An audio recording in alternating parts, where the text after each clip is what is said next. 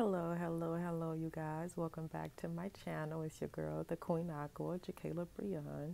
What's going on?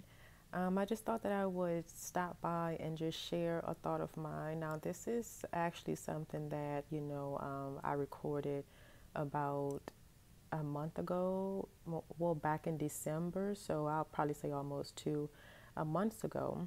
But um, I just thought that I would update it and, you know, um, yeah, so it's going to be really uh, quick, and I just want to talk about hope and faith.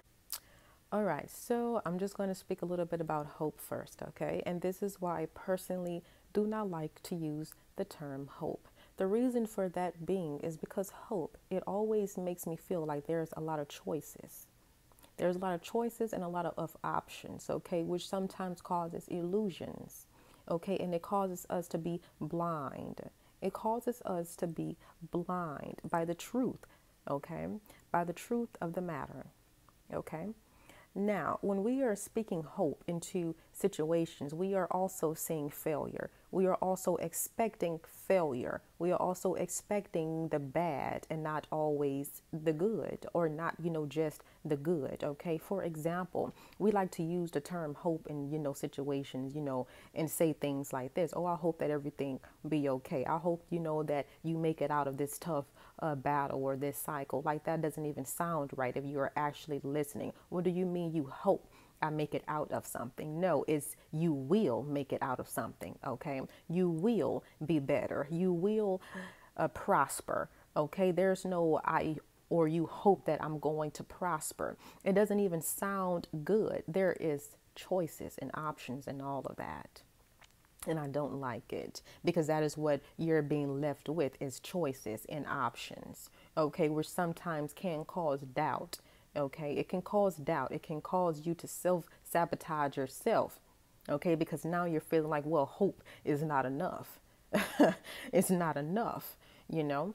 Now, uh, we are going to hop off into faith. Now, when you have faith and when you speak of faith, that is all that you know. When you are walking with faith, there's no illusions, there's no choices in sight because faith, there's only one way, there's only one direction, one path okay? One path, okay? And that is the most beautiful thing about having faith because faith is power, faith is the truth. Faith is the truth, okay? We need to start using the term faith more and believing in ourselves and believe that we have the faith, we have the power okay, to transcend out of any situation that we are enduring, whether if that is good or bad. Whether if that is good or bad, okay? Look, I feel like when it comes to hope, we are self sabotaging ourselves, okay? Into believe, you know, into believing that you know uh, maybe one day that maybe one day something good is going to happen when we are already living in you know in in greatness when we are already living in abundance, when we, we are already living, you know, in, in our truth. When you are having hope into something, you are pulling all of that away from you. You are pulling it all away from you. Okay? And that is not okay.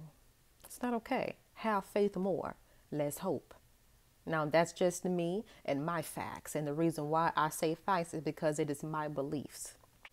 When you have more faith than hope, you now have more stability, more security. You will believe more, believe in self more, believe that you know everything, that things are all right. Okay?